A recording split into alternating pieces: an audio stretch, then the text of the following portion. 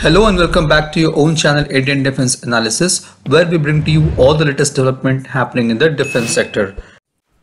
Finally, DRDO has confirmed regarding the trials of Astra Mark III. The information came out when the poster of an SFDR missile was shown by DRDO. Astra Mark III is the only missile that will use the SFDR or solid fuel ducted ramjet engine technology.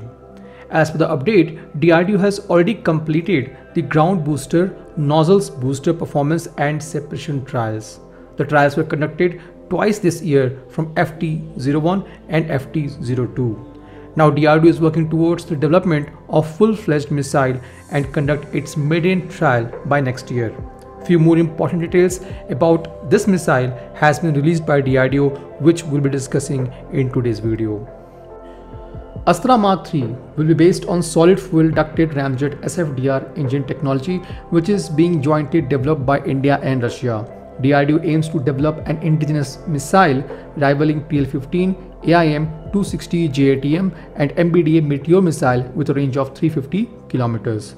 The missile can be launched from aircraft at Mach number between 0.8 to 2.2. The interception speed of the missile is going to be between Mach 2.0 to 3.6. The missile will have a range of 190 kilometers when launched from an altitude of 8 kilometers and 350 kilometers when launched from altitude of 20 kilometers. The angle of attack for the missile is 20 degree.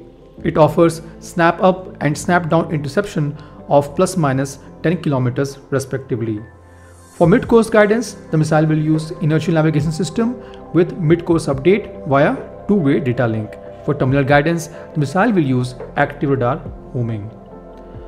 Though the official confirmation on trials of Astra Mark II is still awaited, there are reports of it being ready for trials and then delayed again.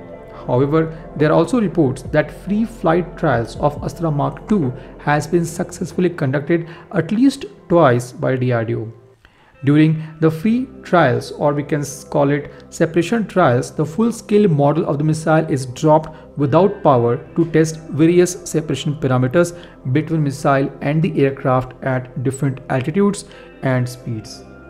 Next set of trials will be powered test which will be soon conducted. For fast tracking testing and integration of Astra Mark II missiles, DRDO will pre-produce 25 missiles and Indian Air Force has already assigned 4 to 5 Su-30 MKI fighter jets upgraded with latest software patch and minor modification so that they can be used as a test bed for Astra Mark II development and user trials.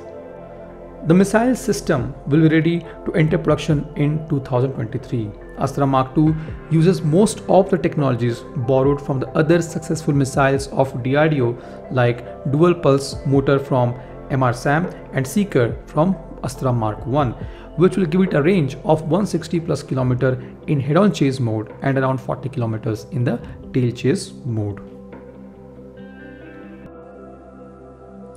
This was today's update. Please let us know what is your views about these in comment section. Feel free to post your comments and suggestions about any topic related to defense sector on which you want to hear from us. With this, I would like to say goodbye and Jai Hind friends. Please like and subscribe our video if you have not done already. We'll be soon back with more interesting and amazing development happening in defense sector.